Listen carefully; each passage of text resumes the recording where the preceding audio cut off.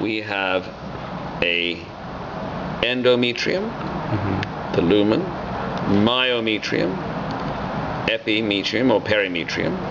Here we have the cervix protruding down into the vaginal cavity. Here's the va- vagina. There's the rugae of the vagina. All right, the ridges. There is the groove around the, the cervix. So the cervix is like my hand pushing down. So there's a, a moat, a groove around it. That groove is the fornix. So there's the fornix. There's the internal anal sphincter, the external, internal, external. There's again the rectum. There's the labia. There's the minora. There's the majora. The whole thing here would be the vestibule. There's the mons pubis, the pubic mountain. All right, so in females there's more fat over the pubic mountain, sign of fertility. There's the suspensory ligament that would support the clitoris, just like, uh, and then we have the prepuce with the clitoral, which is a clitoral hood with the, uh, basically the clitoris there. Sound good? Round ligament. What's this? Fallopian tube. Okay, what's that? Smiley face. No. That would be the ovarian ligament. The ovarian ligament, fallopian tube, round ligament. Okay. Okay.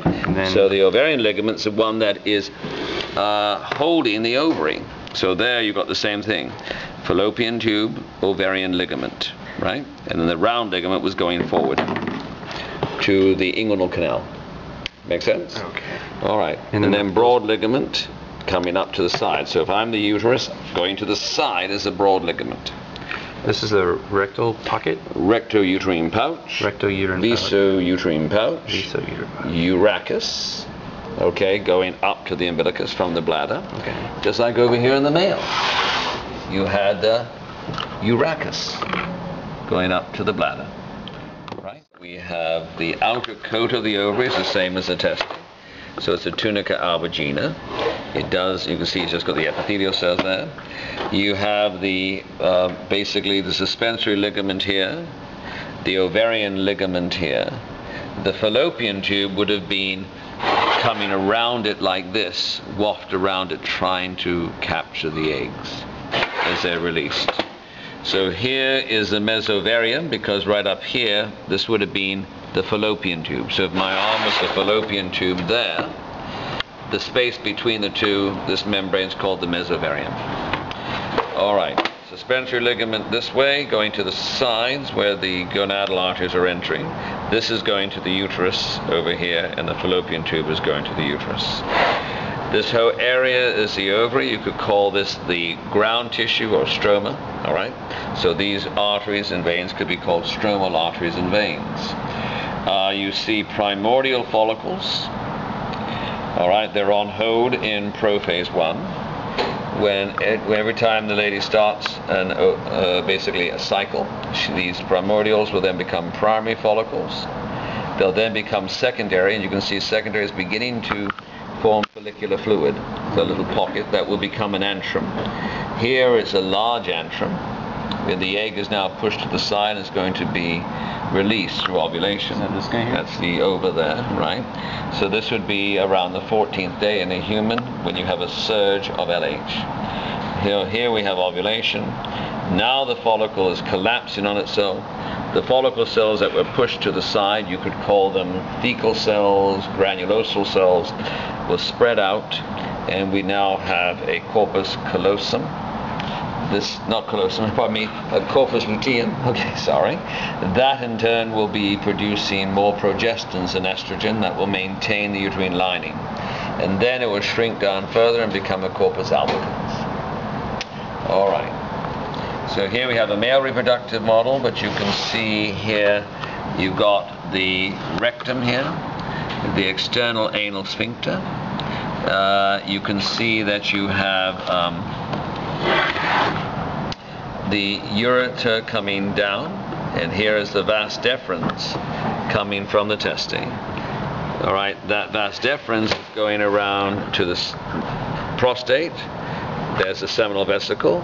They enter in the prostate through this ejaculatory duct. Movement of semen through that is called emission. Here's the prostatic urethra. There's your trigone again. There's your rugae. There's the smooth muscle of the bladder, which is the detrusor muscle. Uh, up on the roof of the bladder, we have the peritoneal membrane, and you can see that this path of the vas deferens in the female would be the same path as the um, round ligament. Uh, the spermatic cord consists then of the vas deferens, but also the blood vessels and the lower hooks on the oblique muscles of the abdomen. So there's an oblique muscle of the abdomen being dragged down and becomes the muscle elements, which we now call the cremaster muscle, which will elevate and lower the testis. Um, there's most of it there. What about the prostate?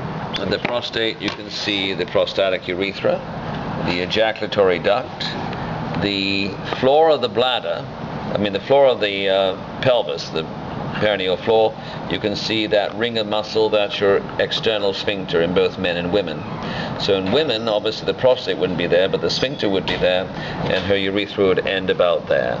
In the male, obviously, it is now dragged into the penis. Hmm. Instead of ending, it's dragged forward into the enlarging clitoris or clitoris and becomes the incorporated in the uh, corpus sponginosum. You can see here as you got the epididymis. Again, the surface of the testes is like the surface of the ovaries. So that's the tunica albuginea. All right. So, and then you can see the seam where the labia fused. So there's the perineal raphe, which males and females have, going from the anus. But in males, it continues down the scrotum because the two labia fuse together. In the female, it ends there because the labia stay aside from each other, leaving a vestibule. All right. Then finally, you have the corpus cavernosum and sponginosum. The corpus cavernosum forms the upper cylinder of the penis or the clitoris, and there'd be one on each side. So it's like two fingers on the dorsum of the penis or the clitoris. And then the corpus sponginosum, which is the lower cylinder, the soft one in the center. Which one is it? This lower cylinder here, which in the male has the urethra. Okay. The corpus sponginosum reflects back in the male and the female and becomes the glans penis or the glans clitoris. Okay?